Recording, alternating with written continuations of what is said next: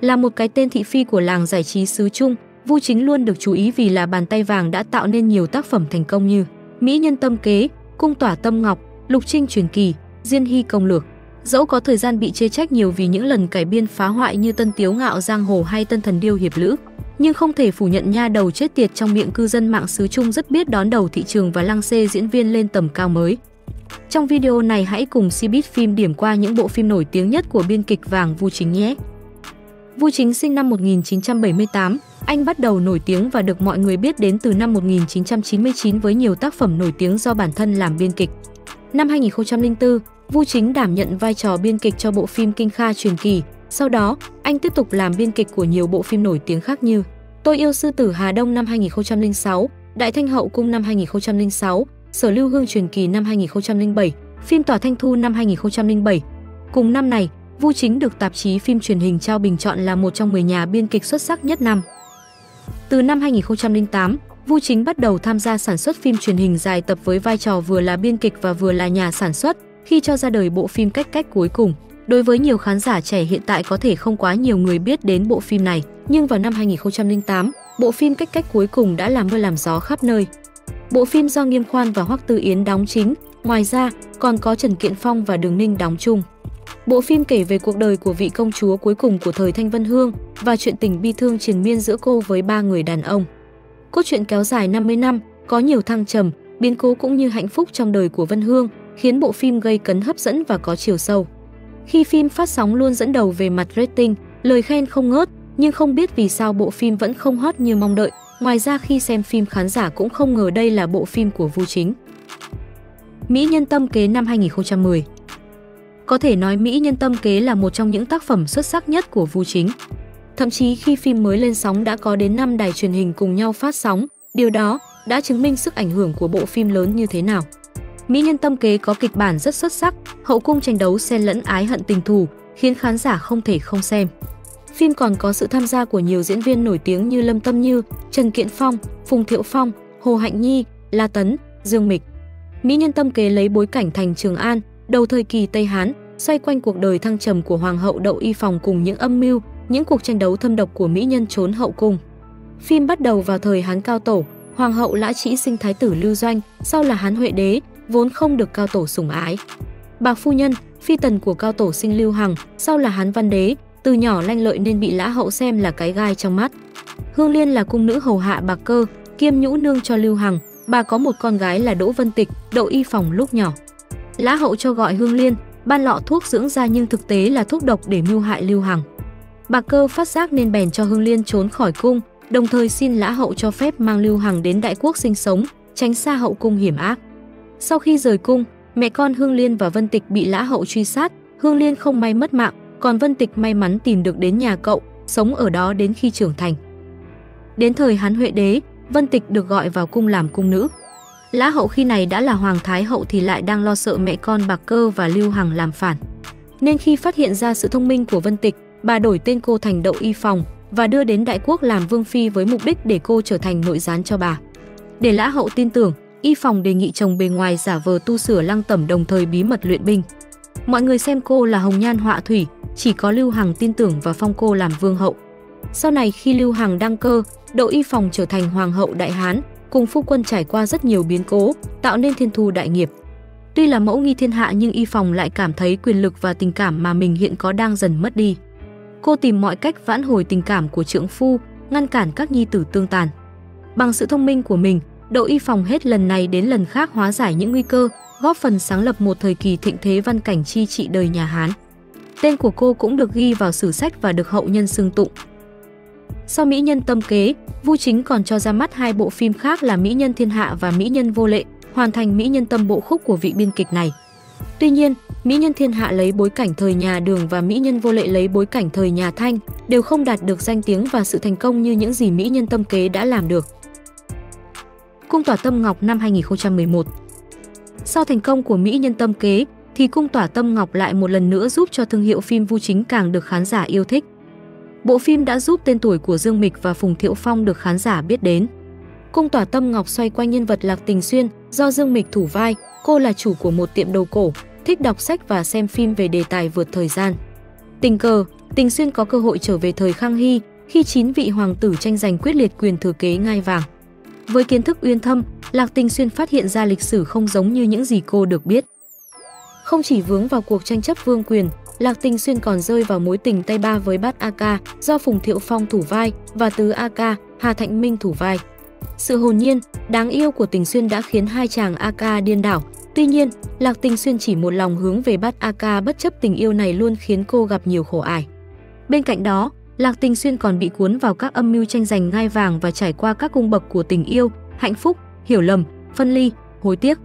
Khi mới phát sóng bộ phim luôn bị so sánh với bộ phim Bộ Bộ Kinh Tâm, vì vậy tính đề tài của bộ phim càng cao. Nhưng không thể phủ nhận đây là bộ phim thành công của Vu Chính. Tuy nhiên, khi phim phát sóng, Vu Chính đã bị chỉ trích vì nội dung mang nhiều nét tương đồng với tác phẩm Bộ Bộ Kinh Tâm của tác giả Đồng Hoa ra mắt cùng năm. Cung tỏa Tâm Ngọc cũng là bộ phim mở đầu cho vũ trụ phim cung đấu cung tỏa nổi tiếng của Vu Chính, gồm 4 phần là Cung tỏa Tâm Ngọc năm 2011, Cung tỏa Châu Liêm năm 2012, phim điện ảnh Cung tỏa Trầm Hương năm 2013 và Cung tỏa Liên Thành năm 2014. Lục Trinh truyền kỳ năm 2013 Lục Trinh truyền kỳ là một trong những bộ phim làm nên tên tuổi của biên kịch vàng Vu Chính. Là một bộ phim thần tượng cổ trang, Lục Trinh truyền kỳ đã làm thỏa mãn thẩm mỹ của khán giả về các cảnh quay trong phim và cả dàn diễn viên trẻ đẹp. Lục Trinh truyền kỳ lấy bối cảnh là câu chuyện xảy ra vào thời Bắc Tề.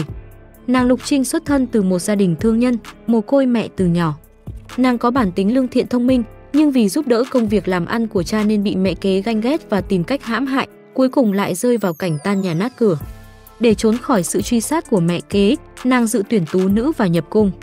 Giữa trốn thâm cung, Lục Trinh đã trải qua rất nhiều gian nan cực khổ nhưng nàng luôn cố gắng phấn đấu không bỏ cuộc.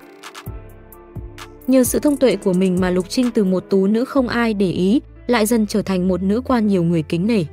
Đồng thời, nhờ sự kiên nhẫn và lương thiện của Lục Trinh cũng đã khiến thái tử cao chạm động lòng. Nhưng mối tình của cả hai lại gặp nhiều trắc trở bởi thân phận địa vị và sự đố kỵ, cùng với đó là những âm mưu quỷ kế và ái hận tình thù trốn hậu cung cũng đều chút lên đầu Lục Trinh. Cuối cùng, nhờ sự dũng cảm và trí tuệ, Lục Trinh đã giúp thái tử vượt qua hàng loạt âm mưu, hành động tranh quyền đoạt vị của gia tộc họ Lâu của Thái hậu. Giúp thái tử lên ngôi, song vận mệnh chớ trêu khiến Cao Trạm không thể cho nàng một danh phận. Sau này nàng phò tá ấu đế, trở thành nữ quan duy nhất trong lịch sử Trung Hoa. Lục Trinh truyền kỳ là tác phẩm làm nên tên tuổi của tiểu hoa đán Triệu Lệ Dĩnh, sự trưởng thành của nữ chính Lục Trinh tuy khó khăn nhưng đầy ý nghĩa gửi gắm thông điệp tích cực tới khán giả. Sau khi bộ phim kết thúc rất nhiều người đều biết tới Triệu Lệ Dĩnh và Trần Hiểu, đặc biệt là Triệu Lệ Dĩnh có thể nói nổi tiếng sau một đêm. Ngoài ra, trong giai đoạn 2010 đến 2015, Vu Chính còn nhiều bộ phim khác đáng chú ý như Quốc sắc thiên hương năm 2010, Đại A Hoàn năm 2011, Đường cung mỹ nhân thiên hạ năm 2011, Chế tạo mỹ nhân năm 2014, Tân thần điêu hiệp lữ năm 2014, Ban thục truyền kỳ năm 2015. Phượng Tù Hoàng năm 2018 Tuy từng gây ra nhiều tranh cãi nhưng đối với khán giả thì Phượng Tù Hoàng cũng là một bộ phim đáng xem với sự góp mặt của dàn diễn viên trẻ có nhan sắc nổi bật như Quan Hiểu Đồng, Tống Uy Long, Bạch Lộc, Hứa Khải, Ngô Cẩn Ngôn. Khi lên sóng vào năm 2018, Phượng Tù Hoàng không đạt được thành công như kỳ vọng. Tuy nhiên không ai nghĩ rằng dàn diễn viên trẻ của bộ phim sau đó đã trở thành những ngôi sao triển vọng nhất của màn ảnh hoa ngữ ở thời điểm hiện tại. Nội dung bộ phim kể về Thiên Cơ Các, một tổ chức hàng đầu muốn lật đổ vị vua đang cai trị Lưu Tống là Lưu Tử Nghiệp. Để thực hiện âm mưu, Thiên Cơ Các đã âm thầm thay thế chị gái của Lưu Tử Nghiệp là Sơn Âm công chúa Lưu Sở Ngọc bằng một người giống hệt nàng tên là Chu Tước. Dưới thân phận của Sở Ngọc, Chu Tước đã gặp gián điệp của Bắc Ngụy là Dung Chỉ. Trải qua nhiều khó khăn và hiểu lầm, cuối cùng Sở Ngọc và Dung Chỉ cũng nhận ra được tình cảm thật sự. Dung Chỉ sau đó đã giả chết để mong Sở Ngọc tha thứ. Nhưng mọi chuyện vẫn chưa dừng lại ở đó khi cả hai cùng mất đi trí nhớ, mỗi người lưu lạc một nơi. Để rồi 5 năm sau cùng nhau gặp lại ở Bắc Ngụy, nhưng lúc ấy cả hai đều mất trí nhớ, từ đó họ lại một lần nữa bắt tay cùng nhau vượt qua khó khăn và âm mưu trốn cung đình. Diên Hy công lực năm 2018 Bộ phim được lên sóng vào tháng 7 năm 2018, ngay lập tức tạo nên tiếng vang lớn bởi những tình tiết lôi cuốn cùng với hiệu ứng mãn nhãn. Diên Hy công lực nhanh chóng chiếm được thiện cảm của khán giả không chỉ nội địa Trung Quốc mà còn lan tỏa ra khắp các nước láng giềng. Xoay quanh nhân vật nữ chính Ngụy Anh Lạc, do Ngô Cẩn Ngôn thủ vai, cô vốn xuất thân từ một nữ tử phường may, nhưng đã từng bước thông minh hóa thân thành Phượng Hoàng nhờ vào sự thông minh tài trí, chinh phục lòng người. Không lạ khi đề tài cung đấu luôn là lĩnh vực màu mỡ được rất nhiều đạo diễn Trung Quốc chú ý và khai thác những câu chuyện thâm cung bí sử vừa có oanh vừa có bi. Câu chuyện bắt đầu vào thời Càn Long thứ 6, thiếu nữ Ngụy Anh Lạc tiến cung vì muốn tìm hiểu nguyên nhân cái chết của tỷ tỷ. Bằng việc vận dụng khôn khéo tài trí, phát hiện ra vương gia hoàng chú là người có liên can lớn nhất. Nhưng thấp cổ bé họng thì sẽ không thể làm gì được, cô nương dựa vào phú sát hoàng hậu và trở thành tâm phúc của người. Thù cũ báo được thì thù mới lại đến, những hiểu lầm cùng mưu kế trong tử cấm thành cũng nhiều hơn. Nhưng đến cuối cùng, bản lĩnh, trí tuệ và nhân cách đã giúp cho Ngụy Anh Lạc trở thành lệnh phi một trong những tri kỷ sâu sắc của ông vua đào hoa nhất nhà Thanh. Năm Càn Long 60 đã phong con trai Ngụy Anh Lạc là thập ngũ A Ca Vĩnh Diễm thành hoàng thái tử và truy phong lệnh ý hoàng quý phi thành hiếu nghi hoàng hậu. Sau Diên Hy công lược, Vu Chính có thêm nhiều tác phẩm mới được ra mắt như Thượng thực, Hạo Lan truyện, Ngọc Xuân lầu, đương gia chủ mẫu. Tuy nhiên, những bộ phim này lại không đạt được thành công lớn như những tác phẩm trước đó. Một phần do những phản ứng tiêu cực của công chúng nhằm bày tỏ sự phản đối trước những phát ngôn thường xuyên vạ miệng của Vu Chính. Mặt khác, những bộ phim này ít được quan tâm hơn là do kịch bản chưa thật sự hấp dẫn và độc đáo. Mãi đến gần đây, biên kịch Vu Chính mới lấy lại phong độ khi cho ra đời những bộ phim mới khiến cộng đồng mạng phải bàn tán rơm rả. Vi hữu ám hương lai năm 2023 Tác phẩm Vi hữu ám hương lai chuyển thể từ bộ tiểu thuyết Tẩy Diên Hoa do cặp đôi diễn viên trẻ Châu Dã và Vương Tinh Việt thủ vai chính.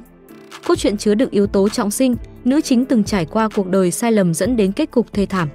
Khi may mắn có được cơ hội làm lại từ đầu, cô bắt đầu con đường quyết tâm thay đổi kết cục trước kia. So với nguyên tác, cốt truyện trong phim đã được cải biên, thay đổi nhiều chi tiết. Hoa Thiển sinh ra trong gia đình quyền quý, chuyên kinh doanh hương dược, con gái của quản đốc Hoa Văn Ngang. Tính cách ngang tàn, thủ đoạn độc ác, bất chấp tất cả làm đủ chuyện sai trái để giành lấy người không yêu mình là Trọng Dạ Lan. Sau cùng tất cả đã đưa cô đến kết cục bi thảm, người thân đều bỏ mạng, nhà tan cửa nát. Nào ngờ, vòng quay số phận cho Hoa Thiển cơ hội trở lại thời điểm đêm đại hôn khi cô chuẩn bị gả vào nhà họ Trọng. Trải qua một màn kinh hồn bạt vía, trả giá đắt cho những tội ác của bản thân, Hoa Thiển hoàn toàn tỉnh ngộ quyết định phải thay đổi để bù đắp cho những lỗi lầm từng gây ra. Đồng thời, cô bắt đầu xem trọng bạn bè, những người thân bên cạnh mình. Trước kia, gia đình Hoa Thiển vô tình lầm đường lạc lối, lần này cô nhất định sẽ đưa họ trở lại với con đường đúng đắn. Hoa Thiển quyết tâm không đi lại vết xe đổ, không tranh giành hay dây dưa tình cảm với Trọng Dạ Lan. Từ nữ phụ độc ác bỗng chốc trở thành nữ chính thông minh, ngược lại Mục Giao vốn là nữ chính đáng thương bỗng thay đổi vị trí với Hoa Thiển. Trong quá trình nỗ lực để tránh xa kết cục khủng khiếp, những bí mật trong quá khứ dần sáng tỏ. Hoa Thiển nhận ra tình cảm của Trọng Khê Ngọ, Vương Tinh Việt dành cho mình, hắn là người luôn âm thầm giúp đỡ, bảo vệ cô. Ngoài ra còn có Hoa Nhung Châu luôn đặt an nguy của Hoa Thiển lên trên cả tính mạng của hắn. Vùng vẫy trong vòng xoáy của số phận, Hoa Thiển cùng những người quan trọng trong cuộc đời nàng cứu lấy nhau, tránh khỏi những bi kịch đã từng xảy ra.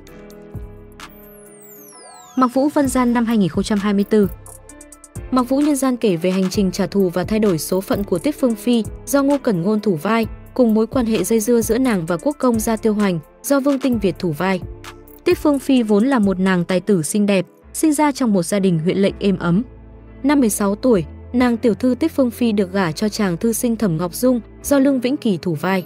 Cuộc sống của đôi vợ chồng trẻ tràn ngập hạnh phúc, nhưng ngày vui ngắn chẳng tay gang khi mọi thứ tốt đẹp chỉ kéo dài được 3 năm. Sau khi đỗ trạng nguyên, bởi vì Thẩm Ngọc Dung được trưởng công chúa nhìn chúng nên đã nổi lòng tham và ham muốn quyền lực.